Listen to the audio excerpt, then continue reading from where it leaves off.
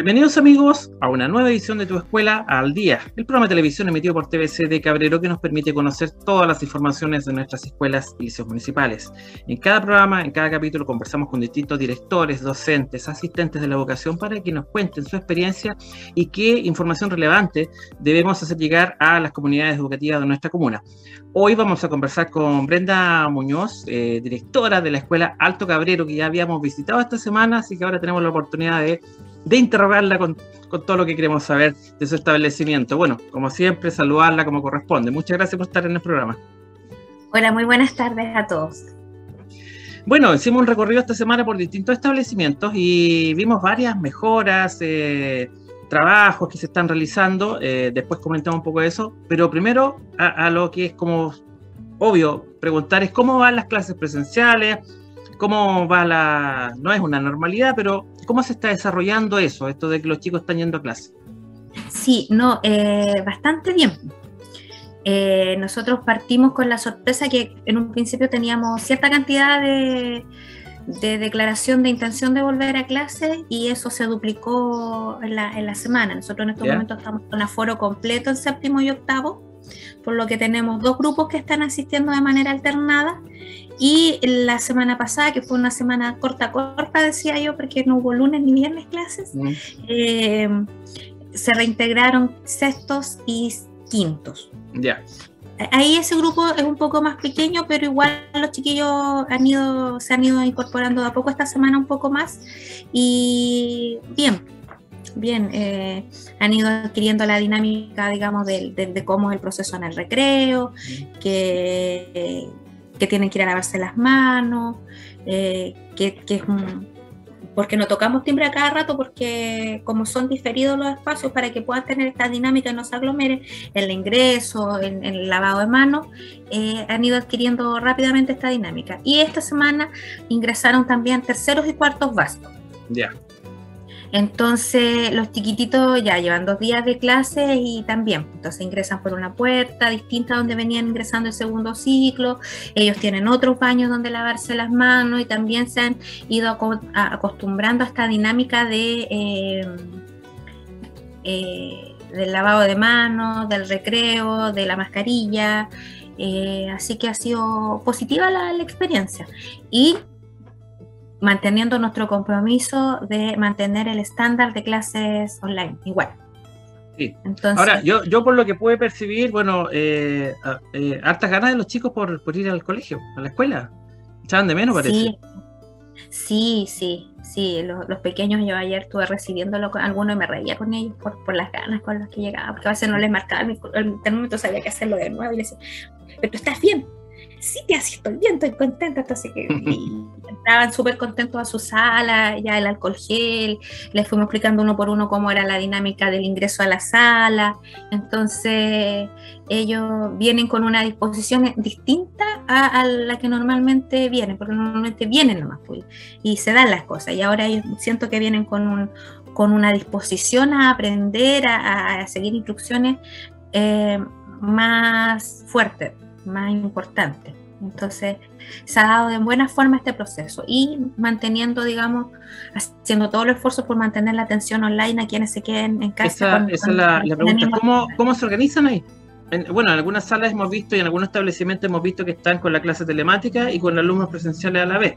Yo no sé cómo lo están implementando ustedes. Sí, eh, no, no, no estamos haciendo clases híbridas. Porque es muy complicado en el fondo. Eh, o sea, lo, lo intentamos, eh, eh, había una profesora que lo iba a intentar. Eh, hemos hecho los esfuerzos, hemos comprado parlantes para que funcione mejor, pero en general no porque igual es un estrés mayor para el profesor, sobre todo con los cursos más grandes que estamos con aforo completo en la sala. Entonces, estar preocupado de los chiquillos que están en clases presenciales, más cualquier cosa, no sé, pues se va al internet, se cae, entonces es, un estrés eh, necesario. Eh, nosotros lo que hicimos fue reajustar los horarios y reasignar las la asignaturas. Por ejemplo, voy a dar un ejemplo bien concreto. Nosotros tenemos el profesor de religión que está reemplazando a la señora Olivia, él además es profesor de historia. Entonces eso nos ayudó a poder cubrir presencial y online, porque obviamente al profesor que hace clase en el segundo ciclo las horas no le dan para hacer ambos trabajos. Entonces eso nos permitió tener un delta, por así decirle, de horas que nos permitió reajustar todo el horario de trabajo y poder, eh, reasignando horas, eh, redistribuyendo el horario, eh, poder atender a, a ambos grupos, digamos tanto online como presencial, con las horas mínimas que en el fondo nos pide el Ministerio de Educación de acuerdo al ajuste curricular que se hizo por razón de la pandemia. Sí, eso quería preguntarle lo, que está exigiendo el Ministerio respecto a lo que ustedes deben cumplir. Yo, tengo entendido que siempre los establecimientos de Cabrero hacen un esfuerzo adicional, pero ¿qué es lo que mínimo que están cumpliendo para que los chicos se consideren que puedan pasar de... Las horas y la cantidad de clases, porque en el fondo nosotros no, no podemos no hacer las horas que nos pide el Ministerio. Ni, ni, restringir asignaturas. Nosotros estamos haciendo las asignaturas y las horas que nos pide anuales el ministerio para que podamos dar el año por cumplido. Lo que no estamos haciendo es HEC, jornada escolar completa. Eso es como, pero el resto está, claro, lo que sí a lo mejor al profesor, a los apoderados les puede parecer un poco extraño, los bloques son más breves por el tema de la ventilación de la sala. No son de 90 minutos, sino que son de una hora. Ya. Para, por el tema de la ventilación de la sala. Entonces eso igual contribuye a poder dar cumplimiento a la cantidad de horas que nos pide el Ministerio de Clases. Directora, y a esta altura del partido, eh, bueno, es difícil hacer una aproximación o un, pronóstico, pero se ha conversado un poco de lo que, de, lo que cómo podría ser ya el otro año, entendiendo que ya van a estar eh, la mayoría de la población vacunada, el, virus está presente, pero va más controlado, los chicos ya parece que tienen, tienen hábitos incorporados de cierto de, distanciamiento social y higiene. ¿Se ha, ¿Se ha conversado un poco de cuál sería el plan para el próximo año? Bueno, el Ministerio de Educación sacó un, ordinario hace poco en el cual nos eh, instruye que una vez que tengamos el 80% de nuestra matrícula por curso vacunada con las dosis que corresponden, digamos que esté con la inmunización correspondiente, eh, nosotros podemos eliminar el aforo de cada sala. Ya. No, para eso se tiene que dar esa condición de que el 80% de los estudiantes estén vacunados. Entonces nosotros estamos haciendo una consulta eh, cada vez que llega un nuevo pequeño eh, de cuántas dosis tiene para llevar el control solamente, o sea, no es un caso de porque la vacuna es voluntaria. Y también le aplicamos una encuesta, una encuesta online, porque no, obviamente nosotros no estamos viniendo para poder tener el dato en el fondo de cuánto dosis y quiénes se han vacunado y quiénes no. Pero es solo el dato, o sea, no, no, no, es una obligación ni que nosotros estemos presionando a los apoderados por la vacuna, eso es una opción familiar y nosotros... Pero si se, llega, si llega a cumplir esa expectativa del porcentaje, el 80%, eh, me imagino que igual eso va a consultas... Se podría volver los cursos completos. pero va a consultas de los apoderados también. ¿Perdón? Va también a consulta de los apoderados también. Sí, pues siempre, siempre todo esto depende de los apoderados, nosotros no podemos imponer nada. Pero digamos, al menos esa instrucción ministerial está en estos momentos. Ahora, entre nos, nosotros nos reímos porque nos cambian, cuesta implementar lo que nos piden, eh, ajustar protocolos, que se y van cambiando tan rápido, nos cambian las reglas del juego tan rápido y es tanto trabajo y no los van cambiando, entonces eh, es súper complicado. Nosotros, bueno, a nivel municipal, digamos, eh, el Departamento de Educación nos puso como la meta de poder acreditar el establecimiento ante la Asociación Chilena de Seguridad. Así que hemos hecho mucho esfuerzo eh, por acreditar el establecimiento en cuanto a las normas sanitarias eh, que se estén cumpliendo en este contexto de COVID. Así que estamos trabajando fuertemente para eso. ¿Y qué, cosas les piden, por ejemplo, así como... Sí, es una sábana de cosas, por ejemplo, el tema de los baños, que tienen que estar marcados, nosotros no tenemos baños malos, pero no se pueden usar todos los baños, tienen que haber uno separado. A lo mejor no nosotros en la práctica no tiene mucho sentido porque los cubículos son separados, no, no, implica riesgo, pero sin embargo nos tienen que estar uno por medio sin usar. Eh, que el, por ejemplo, el, el, jabón, el alcohol gel, tiene que estar de la media hacia arriba, no puede estar de la media hacia abajo. Eh, los basureros tienen que estar, los que, los que son basureros para elementos de protección personal, o sea, para mascarillas, tienen que estar con doble bolsa de basura. Eh, la señalética, tiene que estar toda la señalética que corresponde. Eso incluye flechas de tránsito, eh, los aforos, el lave de las manos, todas esas cosas tienen que estar de acuerdo a las normas de la Asociación Chilena de Seguridad. Espacios para, para poder tomar un café, por ejemplo, si hay alguna colega que tiene una dificultad de salud, qué sé yo, diabética, eh, y está yendo a trabajar y necesita tomarse un remedio, eso tiene que estar todo normado con una nómina, con todos los datos y un espacio súper determinado también. Los baños tienen que cumplir ciertas normas, entonces hemos estado haciendo todos los esfuerzos para poder cumplir, digo, como son muchos, cómo hacen la, en la limpieza los los auxiliares, y eso va todo lleno en una planilla que, claro, o sea, salieron los niños, esto era un mono cuaternario, limpiaron la sala, qué sé yo, ya, y eso va en una planilla de marcado cuántas veces al día se hace y quién lo hace con sus hijos. Entonces, y, con, y, con, todo eso, eh, porque esto es una realidad distinta a la que, teníamos el año pasado, porque el año pasado había clase telemática absoluta prácticamente y ahora hay una semi-presencialidad. Entonces, eh, ¿por qué le pregunto? Porque ya nos quedan dos meses prácticamente, o menos de dos meses, para que ya concluya este semestre y ustedes también están pensando, realmente están mirando, hoy vamos a hacer la ceremonia de fin de año, queremos hacer esto, lo otro. Eh, ¿Cómo jugamos ahí? ¿Qué, ¿Cómo se eh. preparan para eso? Porque igual necesitan tiempo para, para hacerlo. ¿Cómo lo, ¿Cómo lo han visto? Estamos evaluando los mejores escenarios. Yo creo que lo más probable es que hagamos algo al aire libre, pero no lo hay. Es, un, es una tentativa. Sí en una tentativa yo creo que, lo más probable es que, hagamos algo al aire libre, buscar el mejor horario, así que tenemos que estudiar las sombras y, todo eso. Los horarios, las sombras, todas esas cosas para poder hacer y, además reestructurar nuestra ceremonia, porque las ceremonias tienden a ser un poco largas, para tratar de darle eh, un marco simbólico especial a, los chiquillos que se licencian. Entonces, eh, eso tenemos que realizar todas esas cosas. E, eso no, no se puede, obviamente, bajo las condiciones actuales, entendiendo que el gimnasio también ustedes lo pudimos ver que lo están remodelando, va a quedar espectacular. Eso no, ya bajo las condiciones actuales no se podría ocupar ese espacio por el aforo, ¿no? Eh, claro, que a lo mejor ahí tendríamos que hacer todo. Entonces, eh, es un poco más complicado. Yo creo que, que, se puede, vamos a tener que buscar la forma de sacar el, mayor provecho posible, aparte que ahora tenemos el, el patio encementado maravilloso, digamos, y, podemos hacer uso de él. Pues. Antes no teníamos, antes eso era tierra, pues, entonces no, obviamente no hubiésemos podido hacer una actividad al aire libre, pero ahora se puede. Directora, y, y respecto a a, la oferta educativa, lo que ustedes están estableciendo este año, lo hemos conversado en programas anteriores, porque yo no sé si terminó la fecha de postulación que se hace en, línea en los establecimientos públicos. Eh, yo no sé si ustedes, eh, con todo lo que han aprendido este año, con lo que aprendieron el año anterior, también eh, incorporar nuevas capacidades tecnológicas, las, famosas TIC, como se dice, eh, para los alumnos, porque ya están bastante a caballo en eso. Se ha visto en las redes sociales, usted misma ha participado también, ha, tenido roles de hasta de, periodista, entrevistando personajes. todo este aprendizaje se va a plasmar después en esta normalidad que recuperemos, porque hubo un esfuerzo tras ello. Entonces, eh, eh, ¿será bueno mantener algunas cosas? De hecho, ya el mayor esfuerzo está en, todo lo que han aprendido los profesores a aplicar durante sus clases. Entonces, claramente eso tenemos que mantenerlo y seguirlo desarrollando.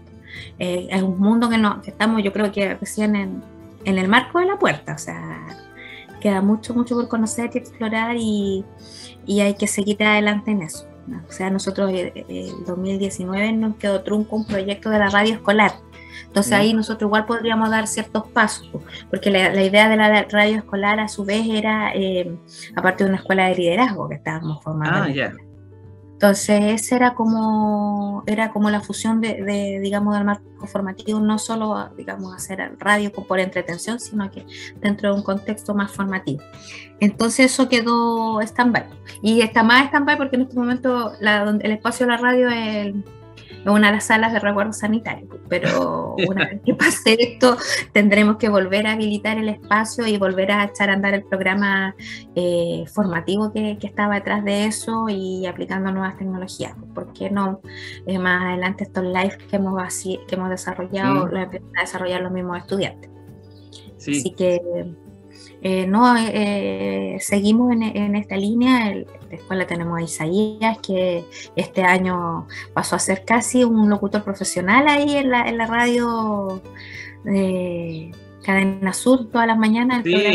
se lo robaron, ¿ah? Se lo robaron a él. No, no, no, un ratito, se vuelve a la escuela a trabajar. Un ratito vaya no, está prestado. Así que también podemos sacarle provecho a su experiencia para. Pero esa experiencia es genial, ¿eh? Esa experiencia replicada en su establecimiento. bueno, y Isaías siempre nos apoya también en todas estas ideas de, de, extraescolar y, actividades que hacemos. Así que eh, a sacarle provecho por esa línea y, seguir haciendo cosas como más tecnológicas. A lo mejor este año no lo tenemos contemplado, pero a lo mejor más adelante igual poder incorporar cosas como robótica y otros planes más ligados a la ciencia. No, no le pregunté y no la felicité, pero el programa ya salió fuera de fecha, pero porque estuvieron hace poquito del Día del Profesor, pues estuvieron bien, ah, bien festejados, bien celebrados, no, alcanzamos a sacar el programa en ese, día, pero ¿cómo estuvieron esas celebraciones, ese establecimiento? Bueno, la verdad es que estamos en un plano medio complejo. Nosotros eh, eh, celebramos cada uno en su día nomás. Eh, estamos pasando por un momento un poco doloroso, una colega enfermita, entonces la verdad es que estamos bien eh, entonces, así como, la verdad es que ánimo como para hacer un paseo o algo no, no, estaba, yo creo que, y además con temor todavía muchos colegas, entonces ni siquiera lo planteamos.